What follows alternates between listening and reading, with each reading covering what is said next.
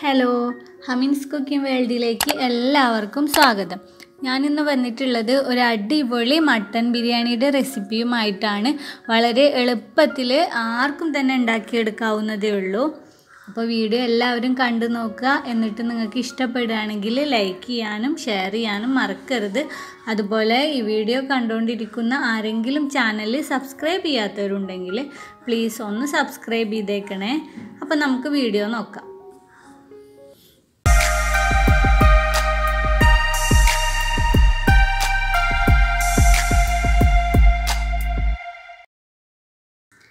അപ്പോൾ മട്ടൻ ബിരിയാണി ഉണ്ടാക്കാനായിട്ട് ഞാനിവിടെ എടുത്തിട്ടുള്ളത് ഒരു കിലോ മട്ടനാണ്.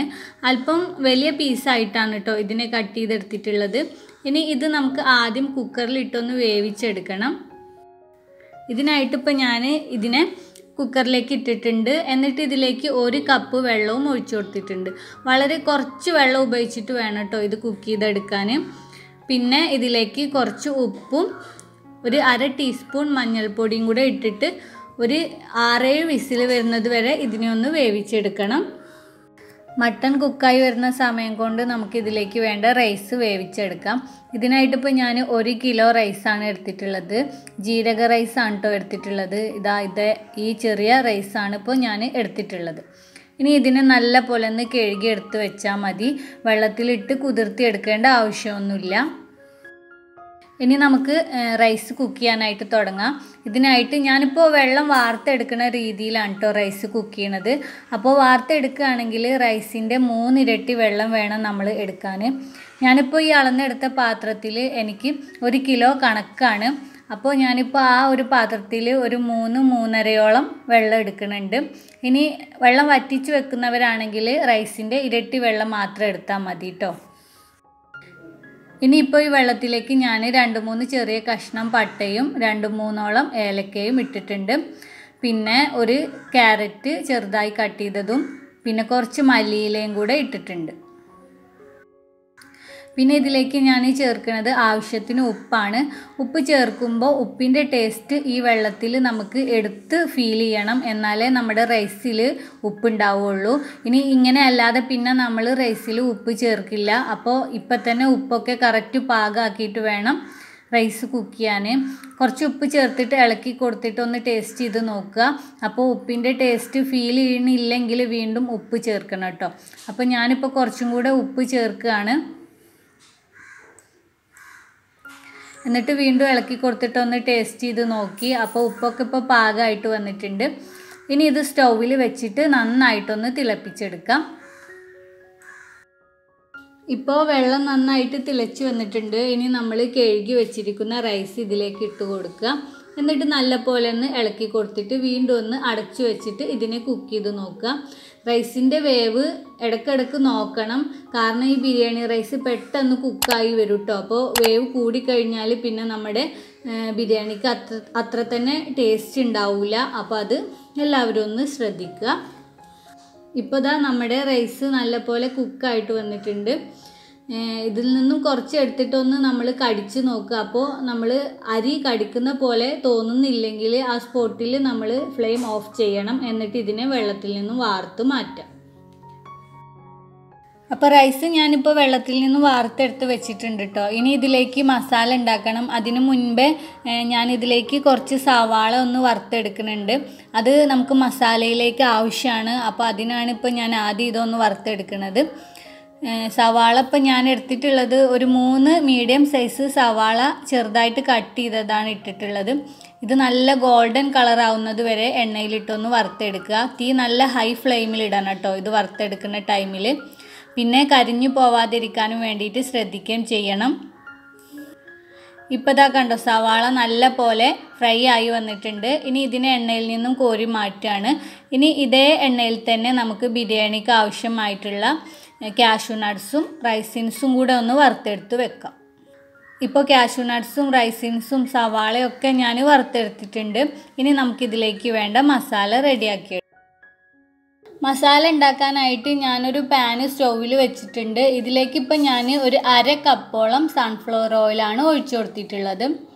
ഈ സൺഫ്ലവർ ഓയിലിന് പകരം നിങ്ങൾക്ക് വെളിച്ചെണ്ണയോ നെയ്യോ എന്ത് വേണമെങ്കിലും യൂസ് ചെയ്യാം കേട്ടോ പിന്നെ ഈ സൺഫ്ലവർ ഓയിൽ ചൂടായിട്ട് വരുമ്പോൾ ഞാൻ ഇതിലേക്ക് ഒരു കാൽ കപ്പോളം ഇഞ്ചി വെളുത്തുള്ളി പേസ്റ്റ് ഇട്ടിട്ടുണ്ട്. അതായത് ഒരു നാല് വെളുത്തുള്ളി മുഴുവനായിട്ടും ഞാൻ ഇതിലെടുത്തിട്ടുണ്ട് പിന്നെ കുറച്ച് വലിയ കഷ്ണം ഇഞ്ചിയും എടുത്തിട്ടുണ്ട്.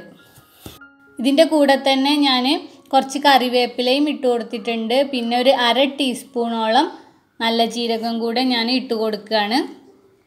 ഇനി ഇതെല്ലാം കൂടെ എണ്ണയിൽ നന്നായിട്ടൊന്ന് മൂപ്പിച്ചെടുക്കുക. ഇതെല്ലാം കൂടെ മൂപ്പിച്ചെടുക്കുമ്പോൾ ഒരു പച്ച സ്മെല്ല് വരും. ആ സ്മെല്ലൊന്ന് പോകുന്നത് വരെ ഒന്ന് മൂപ്പിച്ചെടുത്താൽ മതി. ഇതിന്റെ കൂടെ ഞാനിപ്പോൾ ഒരു ചെറിയ കഷ്ണം പട്ടയും കൂടെ ഇട്ട് കൊടുത്തിട്ടുണ്ട്. അപ്പോൾ അതും കൂടെ ഇതിന്റെ കൂടെ മൂപ്പിച്ചെടുക്കുക. ഇപ്പോൾ ഇതെല്ലാം നല്ല പോലെ മൂത്ത് വന്നിട്ടുണ്ട്. ഇനി ഇതിലേക്ക് നമ്മൾ സവാളയും പച്ചമുളകുമാണ് ഞാൻ ചേർക്കുന്നത് ഇതിപ്പോൾ ഞാൻ നാല് വലിയ സവാളയും ഒരു ആറേഴ് പച്ചമുളകും കൂടെയാണ് ഇട്ട് കൊടുത്തിട്ടുള്ളത്. ഇനി ഇതിലേക്ക് സവാള പെട്ടെന്ന് തന്നെ വാടി വരാനും വേണ്ടിയിട്ട് കുറച്ച് ഉപ്പും കൂടെ ഞാൻ ചേർത്തിട്ടുണ്ട്. ഇനി ഇതെല്ലാം കൂടെ നന്നായിട്ട് ഇളക്കിയിട്ട് സവാളയെ നല്ല ഗോൾഡൻ കളറാക്കി എടുക്കണം കേട്ടോ. എന്നാലേ നമ്മുടെ ബിരിയാണിക്ക് നല്ല ടേസ്റ്റ് ഉണ്ടാവുള്ളൂ. അപ്പോൾ നല്ല ഗോൾഡൻ കളറാവുന്നത് വരെ സവാളയെ ഒന്ന് വഴറ്റിയെടുക്കണം. ഇപ്പോൾ ഇതാ കണ്ട സവാള നല്ല പോലെ വഴന്നു വന്ന് ഗോൾഡൻ കളറായിട്ട് വന്നിട്ടുണ്ട്. ഇങ്ങനെ ആകുമ്പോഴത്തേക്കിന് നമുക്കിതിലേക്ക് തക്കാളി ചേർക്കാം. ഞാനിപ്പോൾ നാല് തക്കാളി ചോപ്പറിലിട്ട് ചോപ്പ് ചെയ്തതാണ് കേട്ടോ ചേർക്കണത്. ഇങ്ങനെ അല്ലാതെ ചെറുതായി കട്ട് ചെയ്ത് ഇട്ട് കൊടുത്താലും മതി അതൊന്നും കുഴപ്പമില്ല. ഇനി തക്കാളിയും കൂടെ ഇതിൽ നല്ല പോലെ ഇളക്കി മിക്സ് ചെയ്ത് കൊടുക്കുക. എന്നിട്ട് തക്കാളി ഇതിൽ മാക്സിമം അലിച്ചെടുക്കുക കേട്ടോ തക്കാളി എത്രത്തോളം അലിച്ചെടുക്കണോ അത്രത്തോളം ടേസ്റ്റ് കൂടുകയാണ് കേട്ടോ ചെയ്യാം. ഇപ്പോൾ ഇതാ നമ്മുടെ തക്കാളിയൊക്കെ നല്ല പോലെ അലിഞ്ഞ് സോഫ്റ്റ് ആയിട്ട് വന്നിട്ടുണ്ട്. ഇനി ഇതിലേക്ക് മസാലപ്പൊടികളാണ് ചേർക്കുന്നത്. ഇതിലേക്ക് ഇപ്പോൾ കാൽ ടീസ്പൂണോളം മഞ്ഞൾപ്പൊടി രണ്ട് ടേബിൾ സ്പൂണോളം മല്ലിപ്പൊടി അര ടീസ്പൂൺ പെരിഞ്ജീരകപ്പൊടി പിന്നെ ഒരു മുക്കാൽ ടീസ്പൂണോളം മുളക് പൊടി പിന്നെ ഒരു ടേബിൾ സ്പൂണോളം ഗരം മസാല പൗഡർ ഇവയാണ് ചേർത്ത് കൊടുത്തിട്ടുള്ളത്. ഇനി ഇതെല്ലാം കൂടെ നന്നായിട്ടൊന്ന് ഇളക്കി മിക്സ് ചെയ്തെടുക്കുക. ഇപ്പോൾ ഇതെല്ലാം കൂടെ നന്നായിട്ട് മിക്സ് ചെയ്തെടുത്തിട്ടുണ്ട്. ഇനി ഇതിലേക്ക് ഇപ്പോൾ നമ്മൾ നേരത്തെ ഫ്രൈ ചെയ്ത് വെച്ച സവാള ഇല്ലേ അതിൽ നിന്ന് പകുതി ഞാനിപ്പോൾ ഇതിലേക്ക് ഇട്ട് കൊടുക്കുകയാണ്. എന്നിട്ട് അതും കൂടെ ഇതിലേക്ക് ഇളക്കി നല്ല പോലെ മിക്സ് ചെയ്തെടുക്കുക. ഇങ്ങനെ ഈ ഫ്രൈ ചെയ്ത സവാള ചേർക്കുന്ന സമയത്ത് നമ്മുടെ മസാലയ്ക്ക് ഒരു പ്രത്യേക ടേസ്റ്റാണ് അപ്പോൾ അത് വേണ്ടവർ ചേർത്താൽ മതി ഇല്ലാണ്ടെങ്കിൽ സ്കിപ്പ് ചെയ്യാം. ഇതൊന്ന് ഇളക്കി മിക്സ് ചെയ്തതിന് ശേഷം നമ്മൾ നേരത്തെ കുക്കറിൽ വേവിച്ച് വെച്ച മട്ടനും പിന്നെ അത് കുക്ക് ചെയ്യാനായിട്ട് ഉപയോഗിച്ച ആ വെള്ളം കൂടെ ചേർത്തിട്ട് ഞാൻ ഇതിലേക്ക് ചേർക്കുകയാണ്. പിന്നെ കുറച്ച് ഉപ്പും കൂടെ ചേർത്തിട്ടുണ്ട്. ഉപ്പ് നോക്കിയതിന് ശേഷം ചേർത്ത് കൊടുത്താൽ മതി കേട്ടോ എന്നിട്ട് എല്ലാം കൂടെ നന്നായിട്ട് ഇളക്കി മിക്സ് ചെയ്ത് കൊടുക്കുക. ഇനി ഇതിനെ അടച്ചു വെച്ചിട്ട് ലോ ഫ്ലെയിമിലിട്ട് ഒരു പതിനഞ്ച് മിനിറ്റോളം ഒന്ന് കുക്ക് ചെയ്തെടുക്കുക കേട്ടോ. കൂടുതൽ സമയമൊന്നും കുക്കാവണ്ട നമ്മുടെ മട്ടൻ ഏകദേശം വെന്ത് കഴിഞ്ഞതാണ്. അപ്പോൾ ഒരു പതിനഞ്ച് മിനിറ്റ് ഈ മട്ടന്റെ ഒരു ടേസ്റ്റ് മസാലയിലേക്ക് പിടിക്കാനും വേണ്ടിയിട്ട് അടച്ചു വെച്ചിട്ട് വേവിക്കുക. ഇപ്പോൾ മട്ടനൊക്കെ നല്ലപോലെ കുക്കായി മസാല ഏകദേശം റെഡി ആയിട്ടുണ്ട്. ഇനിയിപ്പോൾ ഞാൻ ഇതിലേക്ക് ഒരു കപ്പ് തൈരും പിന്നെ ഒരു അര പിടിയോളം പുതിനയിലയും ഒരു പിടിയോളം മല്ലിയിലയും കൂടെ ചേർക്കുകയാണ്. ഇത് ചേർത്തതിന് ശേഷം വീണ്ടും നല്ലപോലെ ഒന്ന് ഇളക്കി കൊടുക്കുക. എന്നിട്ട് ഈ മല്ലിയിലേന്റെ ഒക്കെ ഒരു ഫ്ലേവർ ഇതിന്റെ അകത്ത് പിടിക്കാനും വേണ്ടിയിട്ട് ഒരു അഞ്ച് മിനിറ്റ് ലോ ഫ്ലെയിമിലിട്ട് അടച്ചു വെച്ച് കുക്ക് ചെയ്യാം അഞ്ച് മിനിറ്റ് ആകുമ്പോൾ നമുക്ക് ഫ്ലെയിം ഓഫ് ചെയ്യാം. അങ്ങനെ ഇപ്പോൾ നമ്മുടെ ബിരിയാണിക്കുള്ള മസാല റെഡി ആയിട്ടുണ്ട്. ഉപ്പൊക്കെ ഒന്ന് നോക്കുക കേട്ടോ. ഈ ഒരു സ്റ്റേജ് ആകുമ്പോൾ ഉപ്പൊക്കെ നോക്കുക. ഉപ്പ് കുറവുണ്ടെങ്കിൽ ഉപ്പ് ചേർത്ത് കൊടുത്ത് പാകമാക്കണം. എന്നിട്ട് നമ്മൾ ഈ ബിരിയാണി ദം ചെയ്തെടുക്കാം. ദം ചെയ്യാനായിട്ട് നമ്മൾ നേരത്തെ വേവിച്ച് വെച്ച റൈസ് ഇതിന്റെ മുകളിലേക്ക് ഇട്ട് കൊടുക്കുക. ഇപ്പോൾ റൈസ് ഞാൻ മുഴുവനും ഇതിന്റെ മുകളിലേക്ക് ഇട്ട് കൊടുത്തിട്ടുണ്ട്. ഇനി ഇതിന്റെ മുകളിൽ കുറച്ച് മല്ലിയില ഒന്ന് കട്ട് ചെയ്തത് ഇട്ട് കൊടുക്കുകയാണ്. പിന്നെ ഇതിന്റെ മുകളിൽ നമ്മൾ നേരത്തെ വറുത്ത് വെച്ച സവാളയുടെ ബാക്കി ഉണ്ടല്ലോ അതും കൂടെ ഇട്ട് കൊടുക്കുക. പിന്നെ അതിന്റെ കൂടെ തന്നെ പിന്നെ ഇതിന്റെ കൂടെ തന്നെ നമ്മൾ നേരത്തെ ഫ്രൈ ചെയ്ത് വെച്ച ക്യാഷു നട്ട്സും റൈസിൻസും ഒക്കെ ഇട്ട് കൊടുക്കുക. പിന്നെ ഒരു മൂന്ന് ടേബിൾ സ്പൂണോളം നെയ്യും കൂടെ ഞാൻ ഇതിന്റെ മുകളിലേക്ക് ഒഴിച്ചു കൊടുക്കുകയാണ്.